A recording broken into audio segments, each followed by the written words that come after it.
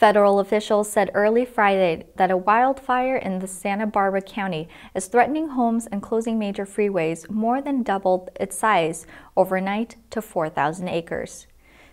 Chewing through vegetation that hasn't burned since the 1950s and pushed by 40 miles per hour winds, the Sherpa fire crawled through Highway 101 between El Capitan State Beach and Gaviota, forcing the California Highway Patrol to shut down the coastal route overnight.